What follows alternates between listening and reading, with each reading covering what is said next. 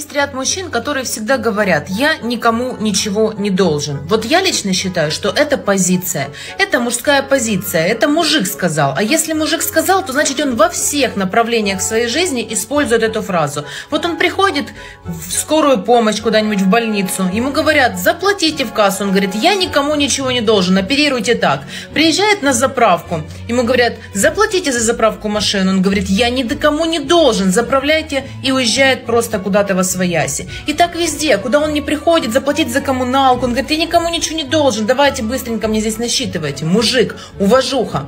Но если такая фраза используется только в отношении собственной семьи, собственной жены, собственных родителей, собственных детей, то мне кажется, таким особям, которые говорят, я никому ничего не должен, нужно захлопнуть громкоговорилку свою и никогда ее не открывать, потому что слово «мужчина» И фраза «я никому ничего не должен» ничего общего между собой не имеют. Запомните. Боже мой, ну что за бред, что за нелепые детские сравнения? Это все равно, что ты зашел в магазин, ничего не купил, она начинает пример там с заправками, с магазинами приведить.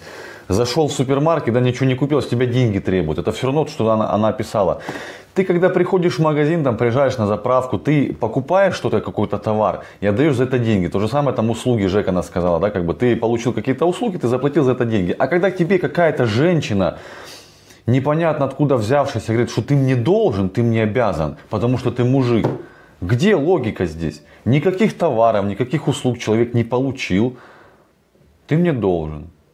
Логика первого класса, и то не у всех даже такая.